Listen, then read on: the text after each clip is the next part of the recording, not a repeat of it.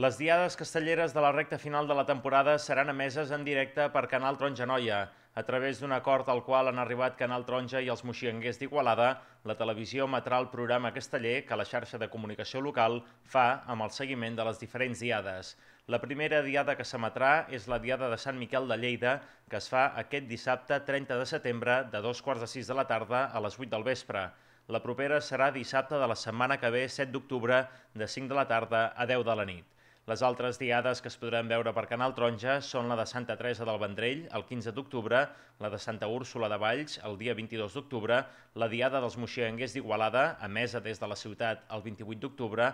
la de Sant Narcís de Girona el 29 d'octubre, la de Tots Sants de Vilafranca del Penedès l'1 de novembre, la diada Xic de Granollers el 12 de novembre i la diada dels Minyons de Terrassa el 19 de novembre. L'emissió de les diades a Canal Taronja Noia es fa de manera íntegra amb el comentari de diversos especialistes del món casteller que formen part de la xarxa de comunicació local.